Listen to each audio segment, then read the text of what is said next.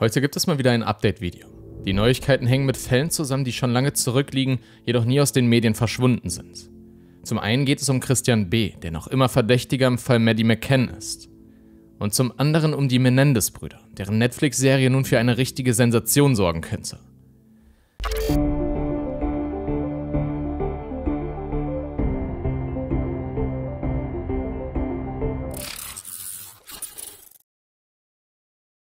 Erst vor kurzem habe ich euch ja von dem Prozess gegen Christian B. berichtet. Er wird als Verdächtiger im Fall Madeleine McCann gehandelt und stand kürzlich in Braunschweig vor Gericht.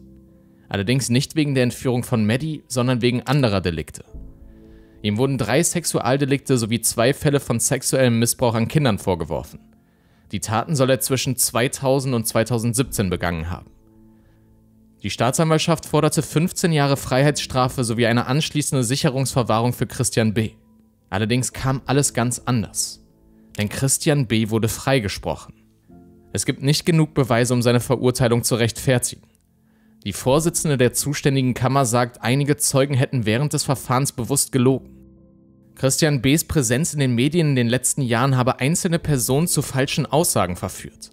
Dazu heißt es, jeder Zeuge hat die Berichte dazu gelesen und diese haben die Aussagen beeinflusst. Wenn ein Angeklagter dann in den Medien als Sexmonster und Kindermörder stilisiert wird und die Zeugen das lesen, dann sind die Aussagen fast wertlos. Zu einer der Vergewaltigungen, über die vor Gericht verhandelt wurde, hat es zum Beispiel keine Geschädigte gegeben, die ermittelt werden konnte. Ein Zeuge hatte angegeben, ein von Christian B. aufgezeichnetes Video der mutmaßlichen Tat auf einer Videokamera von ihm gefunden zu haben. Die Videodatei konnte aber nie gefunden werden.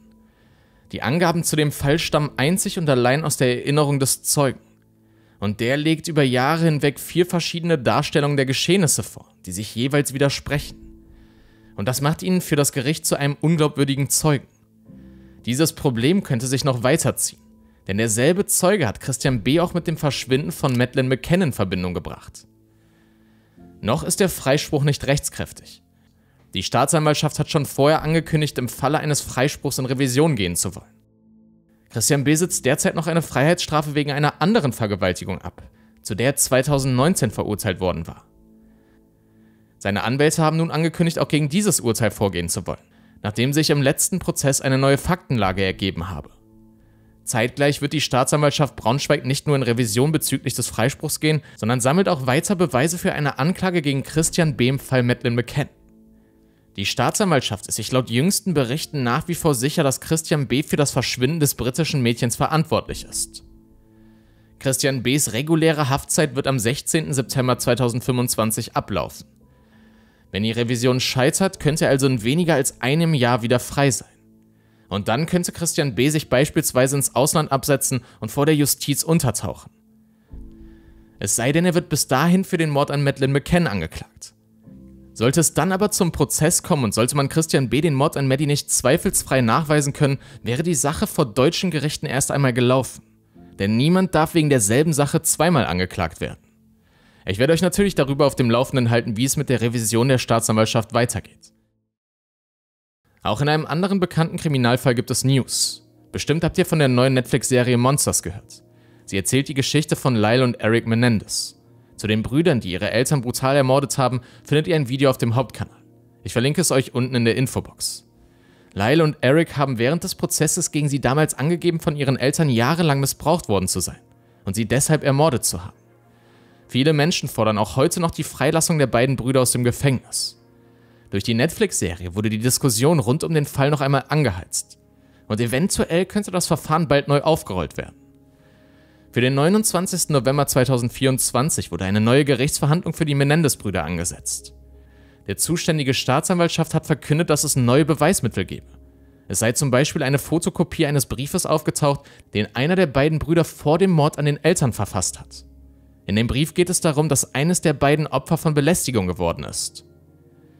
Der Prozess Anfang der 90er wurde oft kritisiert, weil der von den einzelnen Familienmitgliedern bezeugte Missbrauch bei der Urteilsfindung kaum eine Rolle gespielt hat.